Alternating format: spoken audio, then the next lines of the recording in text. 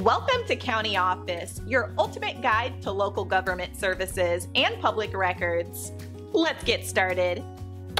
Do I need to provide identification to request a vital record in Arizona? When requesting a vital record in Arizona, identification is a crucial part of the process. Here's what you need to know. If you are applying in person, you must present a valid government-issued form of photo identification. This includes items like a U.S. driver's license, a U.S.-issued identification card, a U.S. military identification card with a signature, or a passport, either U.S. or foreign issued. Acceptable forms of identification. Acceptable forms of ID include N. United States issued driver's licenses, temporary IDs are not acceptable. United States issued identification card. United States Territories driver's license or identification card. Tribal identification cards that contain the bearer's signature.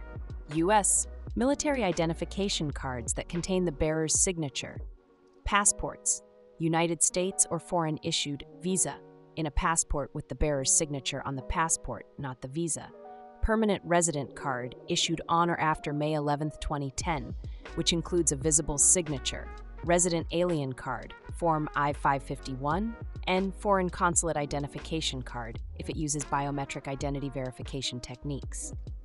For mail applications, you must provide a photocopy of both the front and back of your valid government-issued photo identification. Alternatively, you can have your signature notarized on the application. Notarized signature. If you choose to have your signature notarized, ensure the notary's seal and signature are included on the application. This is an acceptable alternative to providing a photocopy of your ID when applying by mail.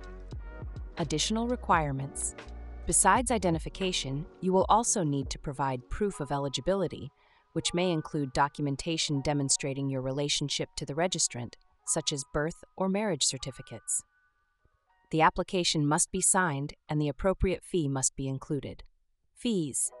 The fees for birth records in Arizona are as follows Certified birth certificate, Certified delayed birth certificate, Amendment of Certified Birth Certificate 30 includes one revised copy. Non certified copy, $5.